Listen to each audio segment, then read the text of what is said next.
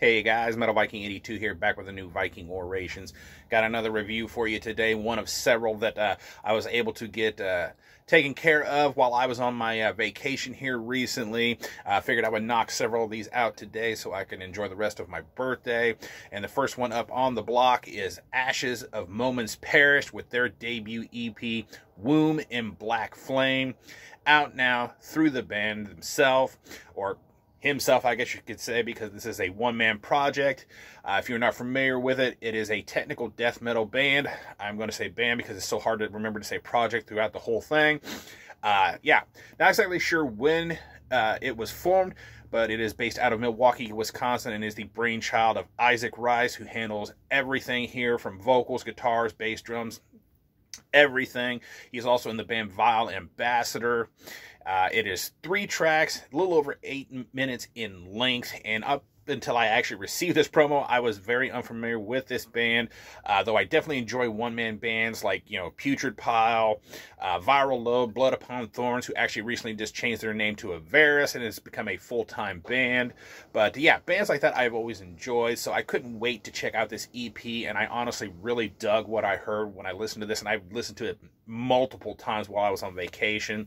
Uh, the bass has a nice twangy tone to it, has a lot of that techy feel to it, and it's right up in the mix, very easily heard, yet it doesn't overpower any of the other instruments, which is really awesome. I love how uh, bands mix it like that when they got a good bass tone and everything, but they don't want to overpower the rest. Um, when you get into the last track, which is the title track, Womb in Black Flame, I love that brief kind of noodly bass solo that it gets at uh, 101 into the song. I always love it when bass gets a nice little moment to shine by itself. Um, I really love the drum production on here. Not sure if it's a drum machine. Uh, it didn't say in any of the promo material anything that I could find. Uh, but if it is a drum machine, he done a hell of a job with it because to me it actually sounds like a real drummer. Uh, very powerful and thick sounding kicks. Great snap to the snare. I really dig the patterns, rolls, and fills that he does. And has lots of fast double bass and blast beats. Just really awesome drumming. Uh, the guitar work on here, oh, this this EP is just full of great guitar work, in my opinion. It's technical, yet it doesn't lose any of the heaviness and has a great tone to it as well. You get mid to fast paced riffs with some slower, heavy chugs and a few of what I like to call noodly noodly uh, bits as well, um, as along with some great guitar solos over all three of these tracks. Um, the lead-off track, Delusions of Wilting Mind. I just love the titles of these songs. At about 34 seconds in, and then again at about 2 minutes and 38 seconds into the song, you get a nice little black metal style tremolo riff, which is like a nice little break from all the tech death that you're getting up until those points.